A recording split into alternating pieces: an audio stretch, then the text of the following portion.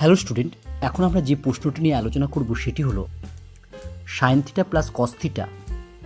এর মান হবে option A one, option B greater than one, option C less than one এবং option D zero. যখন zero less than theta, less than pi by two. অর্থাৎ থিটার মান যখন জিরো থেকে পাই বাই টু এর মধ্যে থাকবে।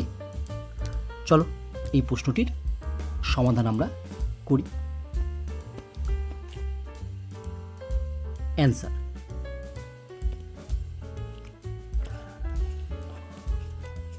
যেহেতু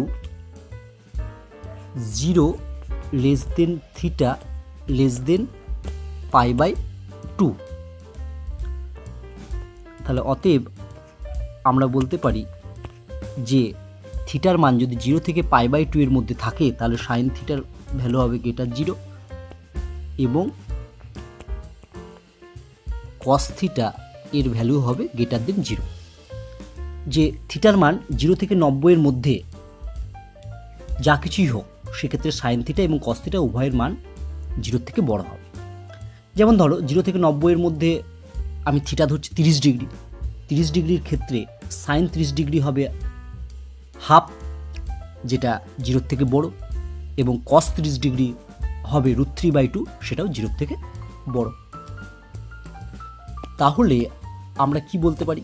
তাহলে আমরা এখান থেকে বলতে পারি, অতএব sine theta plus cos theta এর ভ্যালুটা হবে গ্রেটার দেন জিরো কারণ যেহেতু সাইন থিটা এবং কস থিটা উভয়ের মান জিরোর থেকে বড়, তাহলে সাইন থিটা এবং কস থিটার যোগফলটিও হবে জিরোর থেকে বড়।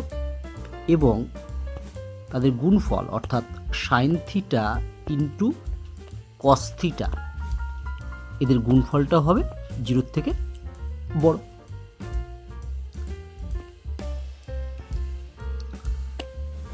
এখন আমরা লিখব sine theta plus cos theta তার হোল স্কোয়ার সমান সমান আমরা জানি sine square theta plus cos square theta plus two sine theta cos theta equal to sine square theta plus cos square theta এর ভ্যালু হচ্ছে one plus two sine theta into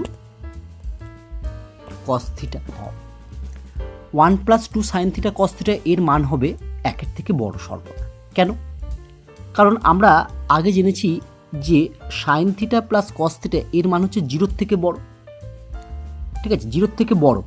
তাহলে one প্লাসের সাথে কোনো একটা সংখ্যা যেটা জিরোর থেকে বড় যোগ হচ্ছে, তাহলে এর পুরো ভ্যালুটা আমার কি হবে? এই পুরো ভ্যালুটা আমার একের থেকে বড় হয়ে যাবে। তাহলে আমরা এখানে লিখতে পারি যে one plus two sine theta into cos theta এর ভ্যালুটা হবে একের থেকে বড়, অর্থাৎ greater than one this implies আমার বাম পক্ষে কী ছিল? বাম পক্ষে ছিল একেবারে, দেখো আমরা অঙ্কটা যখন শুরু করেছি, সেটা ছিল sine theta plus cos theta তার হোল স্কোয়ার আর একেবারে ডান দিকে আমরা পেয়েছি, এটা মানে এর ভ্যালুটা হচ্ছে greater than one